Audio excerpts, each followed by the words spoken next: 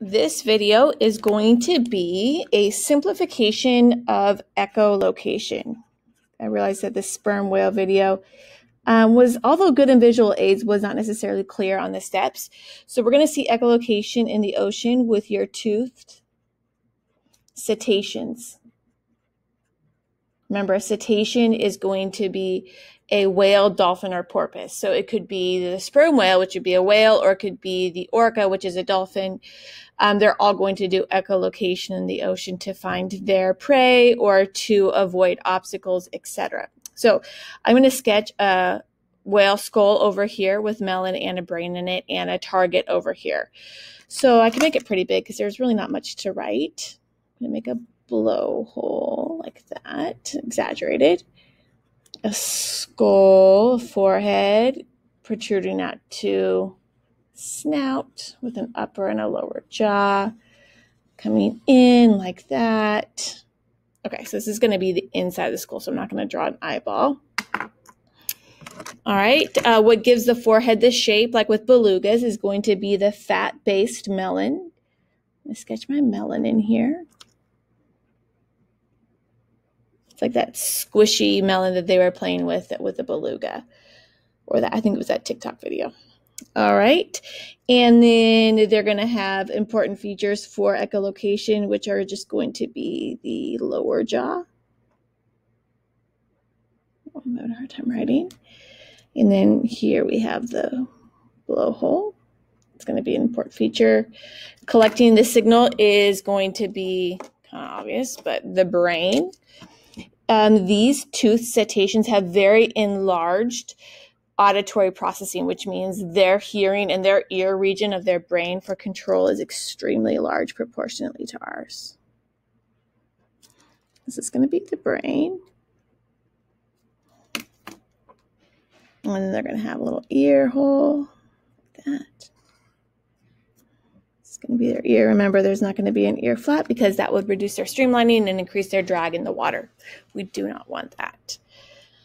All right, um, one last thing. I wanted to show you guys this picture before we get into the steps. The blowhole is going to have something called phonic lips. Sometimes they're called monkey lips. I know that's weird, but it's just like a voice box for humans. So let's start with voice box for humans okay, this is kind of gross, sorry, but here's a like someone sticks a camera down your mouth. This is what your larynx would look like. You have those two vocal cords. This is your voice box. And sound rushes past those vocal cords, and that's how we create different pitches and timbres for our voices.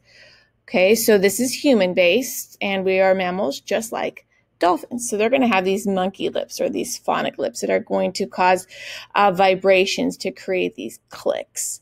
Okay, this is a complicated picture, but just get oriented with it. There's the melon, there's your upper and lower jaw, your brain.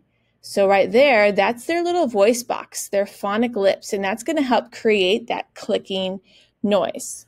All right, so back to the steps. Okay, let's see. First step is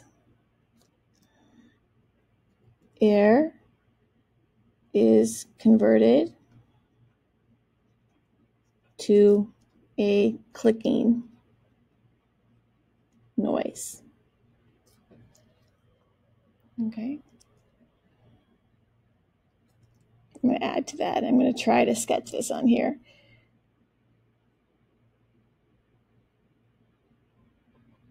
These are going to be my phonic lips right there. By the phonic aka monkey lips. That's going to create the click. Okay. So what's going to focus the click out into the water is going to be the fat-based melon. So let's go ahead and sketch, just as kind of obvious, um, a fish. Let's just make it a fish. Don't need to worry about that now.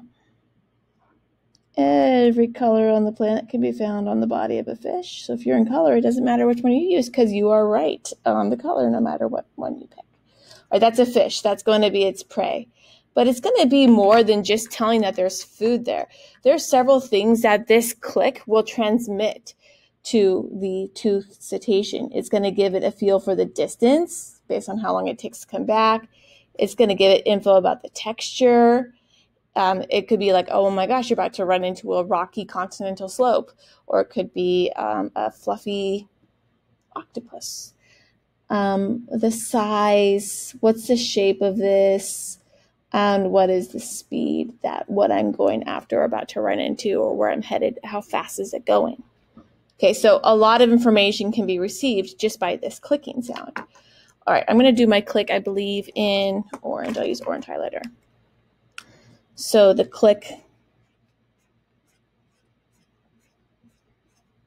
goes out, ricochets off of the target, and returns to the cetacean antenna, which is the lower jaw. This lower jaw is similar to the melon in the fact that they are both fat-based. So this is going to be your antenna, and it's going to direct the signal to the inner ear.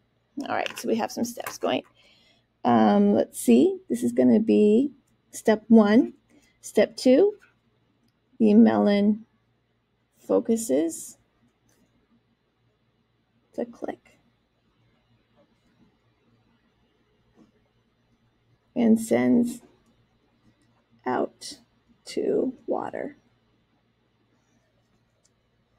Feel free to pause. So the click hits the target. Is step three. You have click hits target.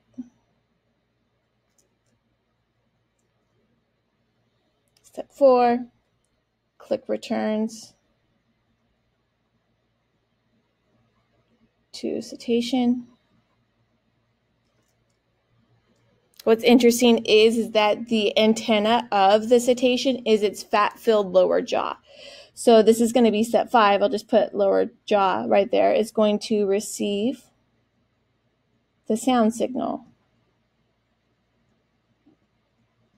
Receives the sound signal, and it's uh, fat-filled, but we don't need to know that detail. Okay, so we have to the target, to the lower jaw, to the ear, and then to the brain for the processing. Okay, so it goes to the lower jaw, which transmits it to the ear. So this is step six, and the ear transmits the signal to the brain for processing.